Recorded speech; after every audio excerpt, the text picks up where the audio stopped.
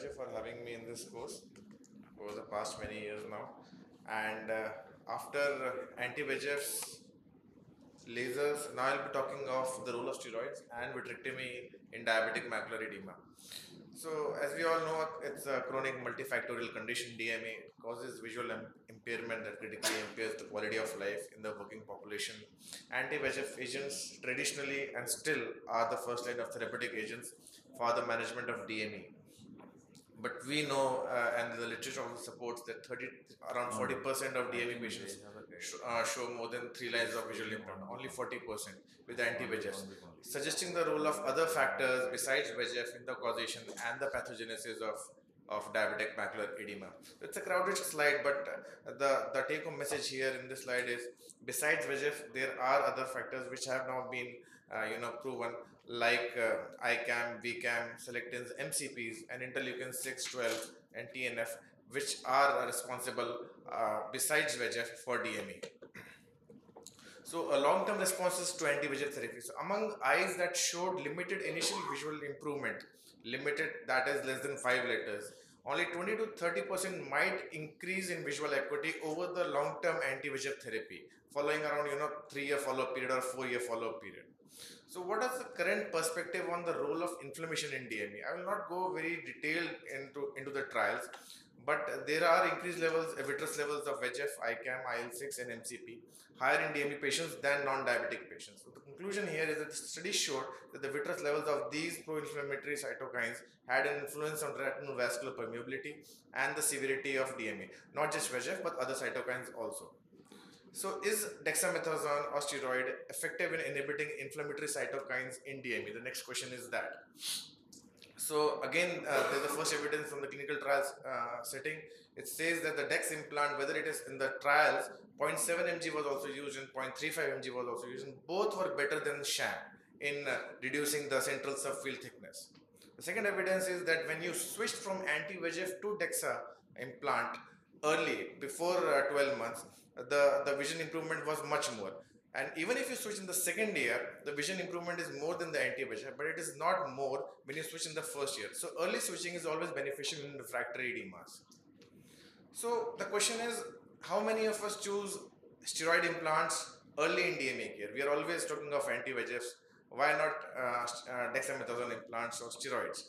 Because firstly, we are ourselves unaware of the suboptimal effect of anti-VEGF in our everyday clinical practice. We do not. We have so many anti-VEGFs every day. We do not compare the effect and the follow of the patients. We say that the CST is decreasing, but the vision is not improving. It's okay. We'll continue with anti-VEGFs.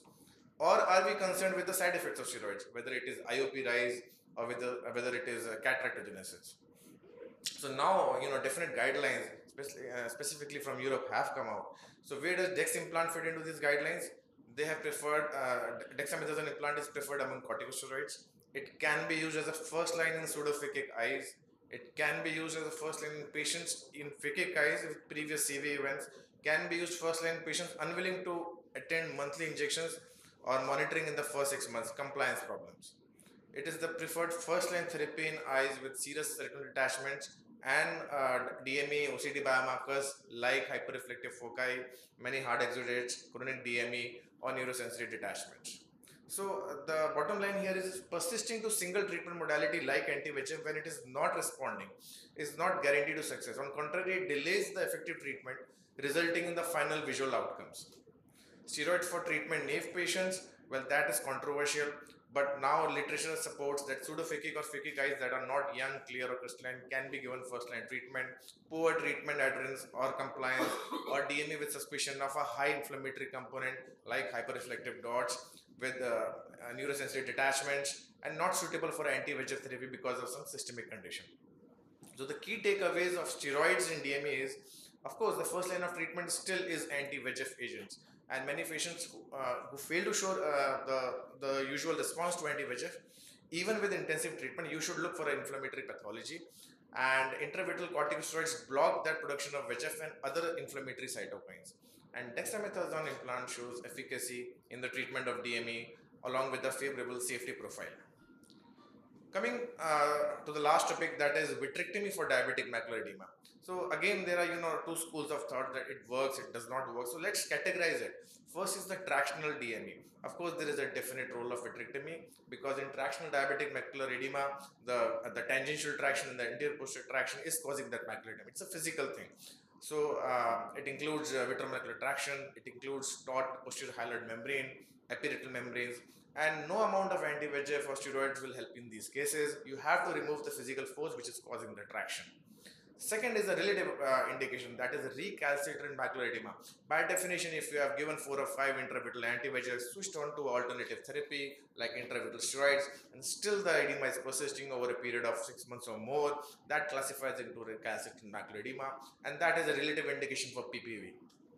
All the studies which I have done and our personal experience shows there is excellent anatomical results with reduced reduction of central subfield thickness and uh, uh, restoration of a normal foveal contour uh, in all these uh, vitrectomies. So, uh, a couple of uh, short clips. So this is a patient of taut posterior hyaloid membrane causing a persistent macular edema. The crux here is to stain it again and again because there are multiple layers before you reach the internal limiting membrane. So you stain with triamcinolone acetonide. You can see a thick sheet which is the taut posterior hyaloid membrane. You cannot take it out with a cutter. You have to peel it like ILM. Of course, it's different in consistency than uh, the ILM. It is more thick, it is more tenacious, but gently you remove it then comes the uh, epiretinal membrane beneath it. You stain it with trypan blue. Then you peel it in the routine fashion. And finally, you stain it with brilliant blue. And then you catch hold of the ILM. So there are three layers which are uh, stained with three different dyes. And this is the final layer of the ILM which I'm peeling here. And it gives satisfactory results. In terms of OCT contour of the fovea, the visual outcome depends on how long that TPHM has been there, uh, how long the traction has been causing that edema there are uh, two short clips, two different uh, case scenarios of recalcitrant edema, macular edema. So this was a patient who had underwent multiple injections of anti-VEGFs. The edema was still there and it's a laser PDR and a routine ILM peeling has been done and the patient did fine. He required uh, multiple injections after that but they uh, came down to two to three uh, per year and caused reduction in CMT. This one had a lot of cystoid spaces and the roof was very thin so I was afraid that I would de-roof and cause a macular hole so I did an inverted ILM peeling here and you know trimmed the stumps so that not to de-roof the, uh, the, the fovea and cause a macular hole. The patient did fine in the post-op period. So to conclude, indications of uh, PPV in DME or PDR keep on evolving with time and the extent also.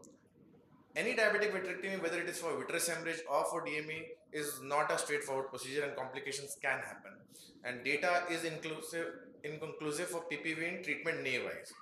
And despite, I, all, I have mentioned it twice also, uh, the central subfoveal thickness does reduce, the foveal contour does get in shape, but despite the best anatomical postoperative outcome, vision gain is modest in many cases.